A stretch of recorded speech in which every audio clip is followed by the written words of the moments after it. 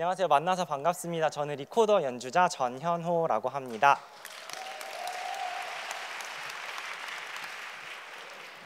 네, 오늘 저희 17세기 어, 예술가 빛과 소리 를 찾아주신 모든 여러분 환영합니다. 저희가 오늘 렘브란트 전시와 연계하여서 오늘 이렇게 음악 공연을 준비를 했는데요. 어, 렘브란트 전시는 다들 감상하고 오셨나요? 네. 어, 어떠셨는지 모르겠어요. 어, 좋았기를 바라고요. 저도 잠깐 이제 준비하기 전에 둘러봤는데요.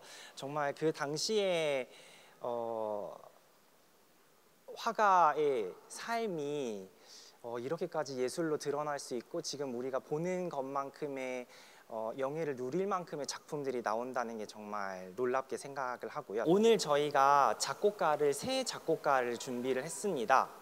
어, 처음으로 들으실 곡은 야콥 판 아이크라는 사람이고요. 두 번째로는 마르코 우첼리니 그리고 마지막으로 클라우디오 몬테베르디라는 작곡가들을 준비를 했습니다. 그래서 야콥 판 아이크는 렘브란트와 같은 네덜란드 사람이고요. 동시대에 일을 했던 사람이고요. 나머지 두 작곡가는 이탈리아의 작곡가였습니다. 어, 렘브란트가 살았던 시기를 저희가 네덜란드의 황금 시기라고 이야기를 합니다. 네, 황금 시대라고 이야기를 하는데 어, 미술가를 네덜란드에서 한명 뽑자면 렘브란트가 있을 거고요. 작곡가를 한 명을 뽑자고 하면 야콥 판 아이크라는 사람을 꼽을 수 있을 겁니다. 어, 야콥 판 아이크는요 장님이었어요. 장님이었는데 어, 작곡을 어떻게 했을까요? 눈도 안 보이고 글도 쓸 수가 없었을 텐데 예, 종이도 예, 어떻게 종이가 어디 있는지 찾을 수도 없었을 것 같고 되게 불편한 점이 많았을 것 같은데요. 어, 그분이 연주하던 악기가 하나가 있었는데 그게 바로 요 리코더였습니다. 그래서 그 당시에 존재했던 수많은 멜로디, 뭐 민요도 있을 테고요, 아니면은 성악곡들의 멜로디를 듣고 즉흥으로 연주를 한 것을 이제 주위 사람들이 그 곡을 듣고 악보로 남겨줘서 저희가 연주를 할 수 있게 되었습니다. 어, 그래서 일단 처음으로 들으시는 곡의 곡 제목은 그 달콤한 세이렌이라는 곡을 먼저 들려드릴 건데요. 혹시 세이렌에 관해서 아시는 분 계실까요? 세이렌 들어본 적이 있으실까요? 네. 스타벅스. 네. 세일에는요, 그리스 신화에 나오는 아름다운 여성의 얼굴을 하고 있고요. 독수리의 몸을 가졌던 바닷가에서 이제 배에서 이제 항해를 해가지고 오면요, 세이렌이 정말 노래를 잘 불렀다고 해요. 그래서 남자들을 다 홀려서 바다에 빠뜨려 죽였다고 합니다. 그래서 그런 신화가 정해, 전해져 내려오는데요. 제가 오늘 들려드릴 곡이 저희가 리코더 솔로 야콥 판 아이크의 곡과 마르코 우첼리니가 조금 더 편성을 다양하게 해서 어, 앙상블 편성으로 한 곡 두 곡을 연달아서 들려드릴 건데요. 일단은 그 가사를 한번 들려드리도록 하겠습니다. 그 달콤하게 달콤하게 노래하는 세이렌 노래로 바다를 잠잠하게 만드네. 그녀의 아름다운 미소가 울부짖는 바람에도 평화를 주네. 그녀의 아름다운 얼굴을 보는 사람마다 그녀의 사랑에 가둬버리고 그녀의 아름다운 눈을 바라보는 사람마다 그녀에게 심장을 빼앗겨 버리네. 네, 하는 요 내용으로 어, 이제 다른 분들 다 같이 모시고 곡 들려드리도록 하겠습니다.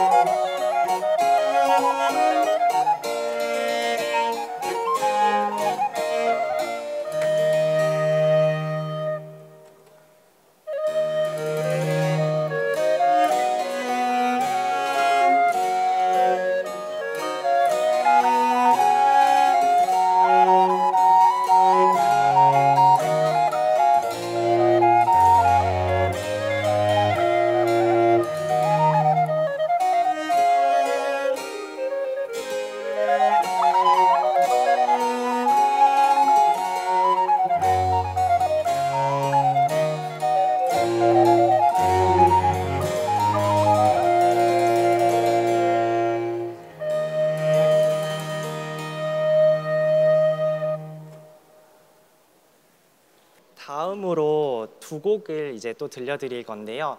다음에 들려드릴 어, 곡에 저희가 이제 이탈리아의 곡을 선택한 이유가 한 가지가 더 있습니다. 어, 당시 유럽이 굉장히 문화적으로 경제적으로 교류가 활발했던 시기였습니다. 어, 그래서 그, 그 중에서도 유럽의 나라 중에서도 굉장히 영향력이 컸던 나라 두 나라가 있는데요. 한 나라는 이탈리아, 그리고 또 한 나라는 프랑, 프랑스를 꼽을 수가 있습니다. 어, 그래서 이야기를 왜 꺼내나 싶을 수 있는데요. 어, 렘브란트가 받은 영향 중에 이탈리아의 다른 화가를 한 명 꼽자면 어떤 분이 계실까요? 지금 제가 렘브란트의 전문가는 아니고 해서 혹시나 어, 미술관에 어, 그 해설하시는 분이 계실 수도 있어서 굉장히 제가 조심스러운 면이 조금 있는데요. 어, 아마 이탈리아의 화가 중에 카라바초라고 들어보신 적 있으신지 모르겠어요. 네, 카라바초도 어가 이제 렘브란트에 준 영향이라고 한 가지를 뽑는다면 빛을 정말 잘 사용해서 그림을 표현하는 방법이지 않았을까 싶어요. 그래서 그 전까지는 인물화를 굉장히 빛의 중심을 두어서 표현을 했다면 이제 빛과 어둠을 전부 표현을 해서 그림을 그린 게 어, 조금 더 이제 특징이 되지 않을까 싶고요. 그게 저희가 표현하는 음악에도 그대로 드러납니다. 빛과 어둠. 어떠한 음악을 표현할 때 명암을 정말 잘 사용해서 표현하는 것을 말을 하는데요. 어, 사실 저희가 악보를 보면은 샘여림도 그렇고 아무것도 적혀져 있는 게 없어요.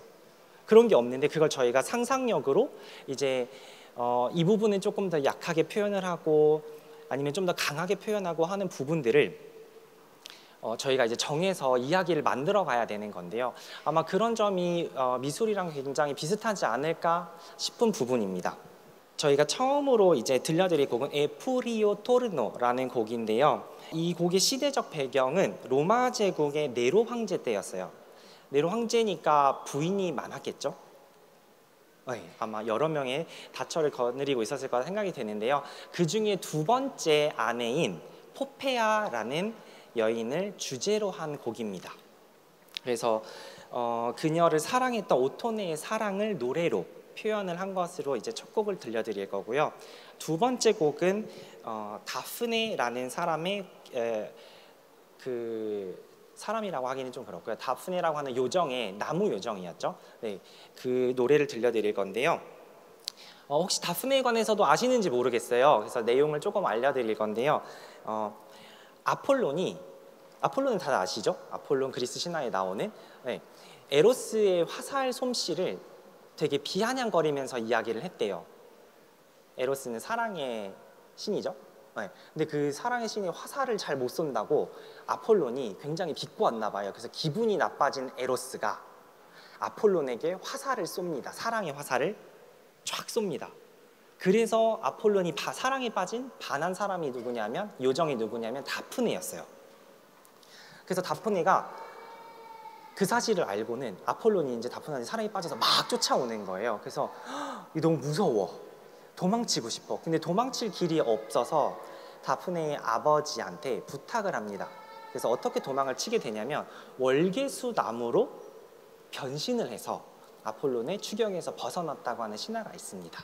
그래서 그 내용을 담은 두 번째 곡까지 들려드리도록 하겠습니다.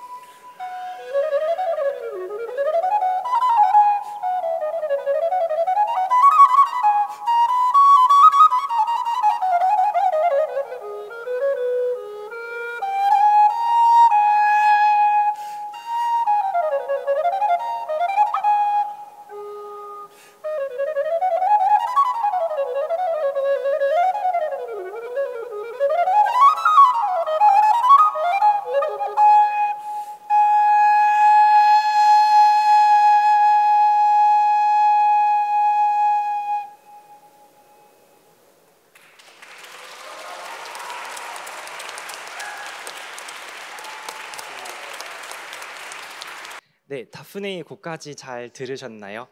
네, 저희 방금 연주해주신 연주자분 소개를 잠깐 하려고 합니다. 어, 먼 길 해주셨고요. 저희 스위스 베른에서 지금 리코더 교수를 하고 계시는 미샤일 폼 선생님이십니다. 다시 한번 박수 부탁드립니다. 다음 두 곡은 어, 역시 몬테베르디의 곡인데요. 둘 다 사랑의 곡입니다. 그래서 어, 시 돌체 토르멘토라는 곡은 너무나 달콤한 고통이기에 나는 당신의 잔인한 아름다움을 위해 행복하게 산다오. 그 아름다움 속에서 잔인함은 더해지고 자비는 부족해도 좋소. 왜냐하면 당신의 자부심 앞에서도 나의 신념은 항상 돌과 같이 단단한 것이니까. 하는 사랑을 쟁취하지 못한 그런 아픔을 드러내고 있는 곡을 들려드린 후에 어, 마지막 마지막은 그 오르페오와 에오리디체에 관한 신화를 아시는지 모르겠어요. 잃어버린 아내를 찾기 위해 오르페오가 지옥에 가서 절대 뒤를 돌아보지 말라고 했는데 결국엔 뒤를 돌아봤죠. 네. 그래서 오르페오가 노래를 부르는 그 곡까지 들려드리고 오늘 공연을 마무리하도록 하겠습니다. 네, 그럼 다음 곡 시 돌체 토르멘토 들려드리도록 하겠습니다.